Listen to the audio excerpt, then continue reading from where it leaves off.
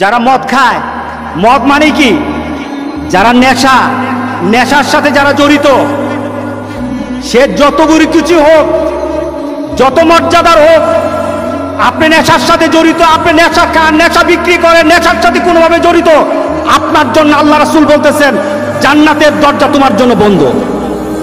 আছে কিনা সমাজে?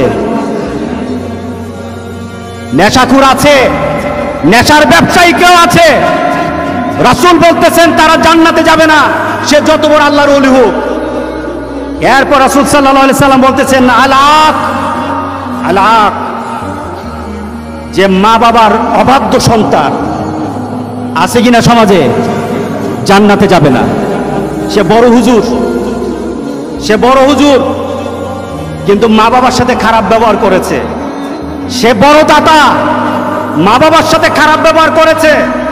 রাসুল সাল্লাহ সাল্লাম বলতেছেন, তার জন্য জান্নাতের দরজাটা বন্ধ থাকবে, জান্নাতে সে যেতে পারবে না।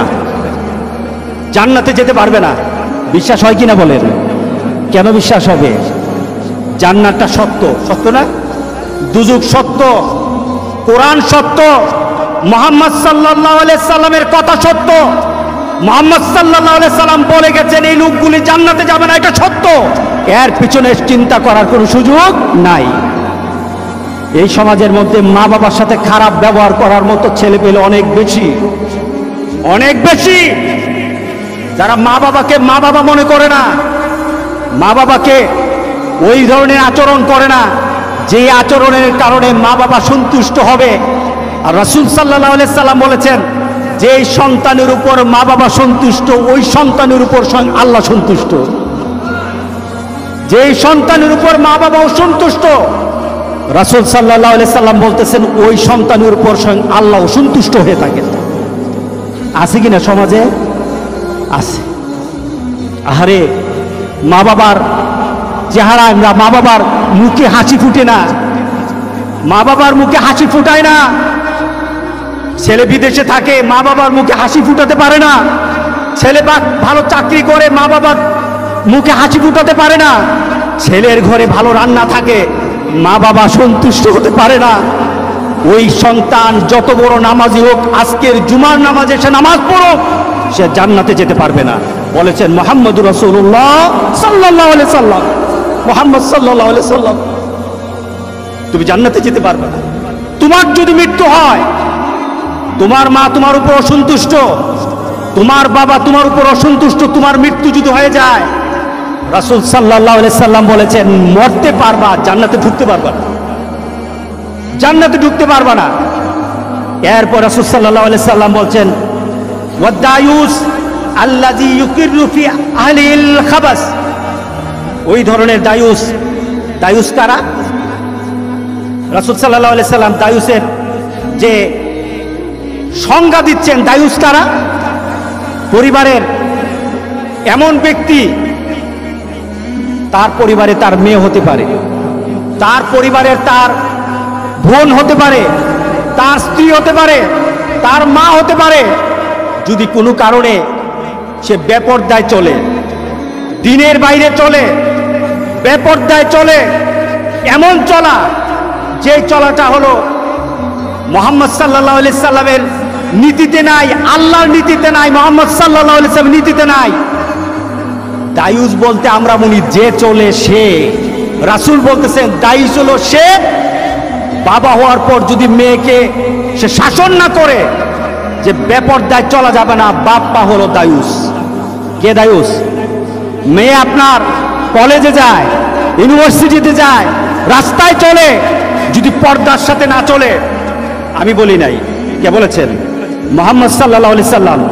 মোহাম্মদ সাল্লাহ সাল্লাম বলেছেন তোমার মেয়ে যদি বেপর্দায় চলে, মেয়ে যেমন দায়ুস, বাপ মা তেমন দায়ুস, এবং এই নীতিটাকে যারা পছন্দ করবে, তারাও দায়ুস। রাসুল বলতেছেন, এগুলি জান্নাতে যাবে না। কে বলেছেন? সমাজে আছে কিনা? আছে কিনা বলেন? ওই যে লেডি বাইক তার পরিবারের তারা, তার চাল চলনকে চাল চলনকে তার সেই মোটর সাইকেল চালানোকে তারা কি করেছে, সমর্থন করেছে। তার শ্বশুর বাড়ির তারা সমর্থন করেছে। আমি আপনাদের জন্য বলি, মেয়েটা খারাপ হয়ে গেছে।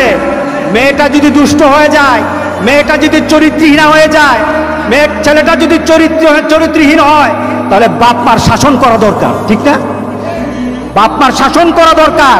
আর শাসন না করে যদি সেটাকে যদি সমর্থন করে, মেয়েও যেমন দুষ্ট, মেয়েও যেমন ছেলেও যেমন এই কাজ করে পাপি, বাপ মা এই কাজের প্রতিবাদ, বাপ মা এই কাজের প্রতিবাদ না করো, সেও দায়ু সেও জাহান্নামী। সেও কি জাহান্নামী?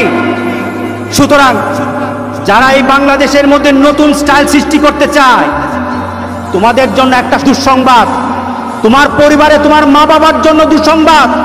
যারা এটাকে সমর্থন করে মিডিয়া, তাদের জন্য দুঃসংবাদ।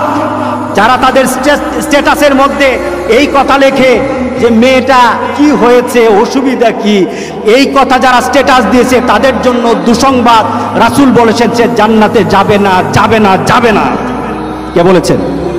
রাসুল বলেছেন। জান্নাতের অবস্থাটা কি? রাসুল সাল্লাহ সাল্লাম বলেছেন, জান্নাত তো এমন, একটা ঘোড়াকে ছেড়ে দেওয়া হবে। এক বছর সে ঘোড়াটা দৌড় দিবে।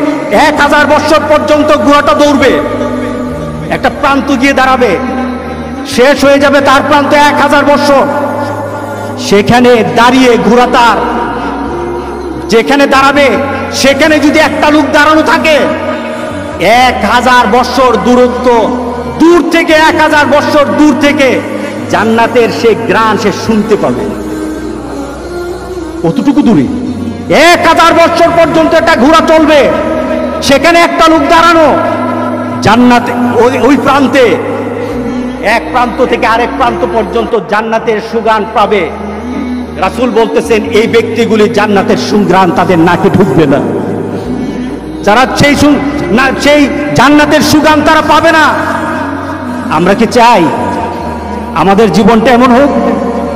যদি আপনি নামাজি হন দায়ুস হন নামাজ আপনাকে জান্নাতে দিবে না। যদি আপনি নামাজি হন, আপনি যদি আপনি যদি হাজারবার হাজারবার আপনি উমরা করেন হাজারবার আপনি যদি আপনি যদি শতবারও আপনি হজ করেন কোটি টাকা আপনি দান করেন, আপনার মেয়েটাকে আপনি পর্দায় আনতে পারলেন না। রাসুল সাল্লাহ সাল্লাম বলছেন আপনি জান্নাতের ঢুকতে পারবেন না। জান্নাত হারাম। আপনার মা বাবার সাথে খারাপ ব্যবহার করেছেন। মা বাবা চোখের পানি ফেলে দিয়েছে। জান্নাতের দরজাটা বন্ধ হয়ে গেছে। জান্নাতের দরজাটা বন্ধ হয়ে গেছে। মদ খাও, নেশা খাও নেশা ছড়াও।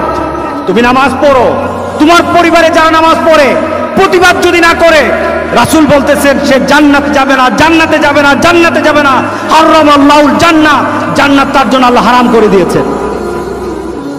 আমরা জান্নাতে যেতে চাই।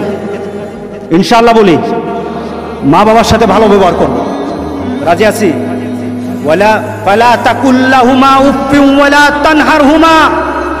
তোমার মা যেন একটা উ শব্দটা না করে। তোমার বাবা যেন একটা উ শব্দ না করে তোমার আচরণে। বলেছেন আমার আল্লাহ। উল্টা যদি হয়, সব আমল বরবাদ। মা বাবার সাথে যদি বেয়াদিব হয়, আজকে গিয়ে মা বাবার সাথে মাপ চাবো। রাজি আছি সবাই? আল্লাহ সবাইকে মা বাবার দোয়া পাওয়ার তৌফিক দান করুক। দ্বিতীয়ত, যাদের মেয়েরা, তাদের ছেলেরা চাল চলনে চাল চলনে। রাসুল সাল্লাহ সাল্লাম যে নীতি রেখে গেছেন, আল্লাহ যেভাবে বলেছেন, আল্লাহ যেভাবে বলেছেন, রাসুল যেভাবে নীতি দিয়ে গেছেন, এর বাইরে যদি রাস্তায় বেপরদায় চলে, তাদেরকে কন্ট্রোল করব। রাজি আছি? কি করব বলে? কন্ট্রোল করব। শরীয়ত যেটা যতটুকু বলেছে, ওই শরীয়ত অনুযায়ী চলার জন্য তাদেরকে বলব। যদি না চলে, আপনি বলেন, বেঁচে যাবেন। যদি না চলে, আপনি বলেন, বেঁচে যাবেন। সে ধরা খেয়ে যাবে। সুতরাং আমাদের ছেলে ছেলে মেয়েগুলিকে উলঙ্গপনার মধ্যে ছেড়ে দিয়ে রাস্তাঘাটের মধ্যে ইহুদি খ্রিস্টানদের ছেলে মেয়েদের মতো চলাফেরা করতে আমরা দেব না, আমরা দায়ুস হব না। রাজি আছি সবাই? দ্বিতীয়ত নেশাখুর যারা নেশার সাথে জড়িত, নেশা খায়। সমাজে আছে কিনা নেশাখুর আছে না? মদখুর মদখুর, গাঁজাখুর আছে কি না? এদেরকে কি করতে হবে? এদের থেকে দূরে থাকতে হবে। এদের সাথে এদেরকে মোটিভেট করতে হবে, ফিরে আয়। ফিরে আয়, ছেলে যদি হয় ফিরে আয়। পরিবারের যদি হয় ফিরে আয়। যদি এতটুকু না হয়, তাদের সাথে যে চলবে, সেও দুযুগে যাবে। তাদের সাথে যা যারা চলবে, তাদেরকে তাদের জন্য দুযুগ জান্নাতকে হারাম করে দেওয়া হবে। সুতরাং নেশাকুরের সাথে আমাদের কোনো সম্পর্ক হবে না। আল্লাহ যেন আমাদের সবাইকে তৌফিক দান করে আমিন বলি আমিন বলি। আর সহ্য হয় না। আর সহ্য হয় না। আমার কোরআনের গায়ে আঘাত হয়। বলি যায় ব্যথা লাগে না। ছোট্ট ছোট্ট করে বলে, দিনের এক একটা কনসেপ্টগুলি দিনের এক একটা নীতির উপর এরা এমনভাবে আঘাত করে। ও শখ জেগেছে করেছি, শখের জন্য করেছি, শখ জেগেছে করেছি, শখের জন্য করেছি। শখ করতে করতে ইসলামরে জবাই করে দিছে ঠিক না? ইসলামরে জবাই করে দিয়েছে। সুতরাং আমরা কি এটার পক্ষে আছি না বিপক্ষে আছি?